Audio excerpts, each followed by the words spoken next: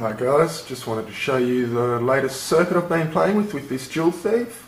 The addition today is I've added this light dependent resistor which turns things on and off and hopefully should be able to adjust the brightness according to how much light's being output.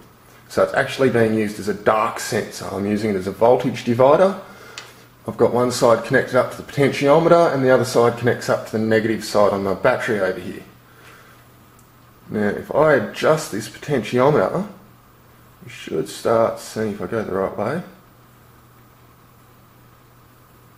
Some light, there we go. Now, put my finger over there, that gets brighter and you can see the waveform here getting bigger, smaller. It doesn't like full light. It's in the shade down there, so it's going on. Now the idea is to sit it just behind the LED and then, obviously I need to make a bracket or something. If we can set the potentiometer to the point we want, the light meter should sense, and I had this working a bit before,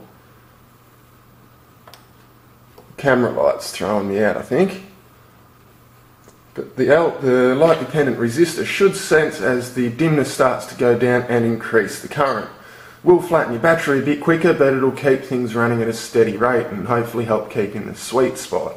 Haven't got that working quite right yet, but it's a work in progress.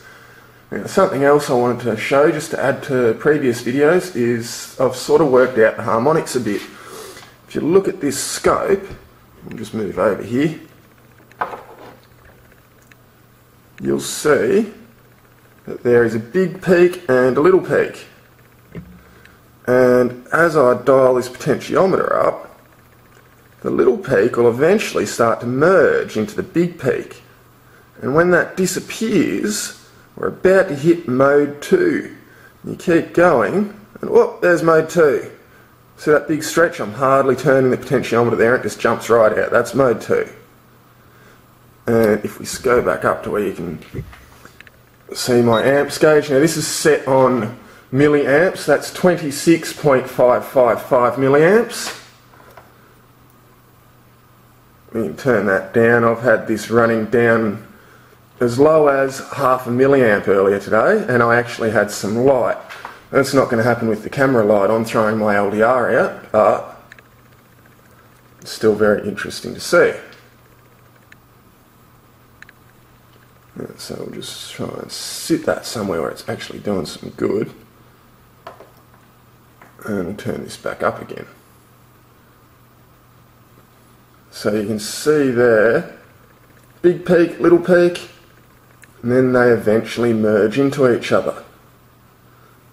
A bit after they merge into each other, mode 2 happens. Now the other thing, interesting thing that was happening before without my camera light throwing things out was that there was a third mode happening with the light with the LED and the light dependent resistor. There was there was a, I was getting pulses of about five or six to twenty pulses here, and then very large gaps in between. But it was still happening way too fast for my eyes to detect a flicker.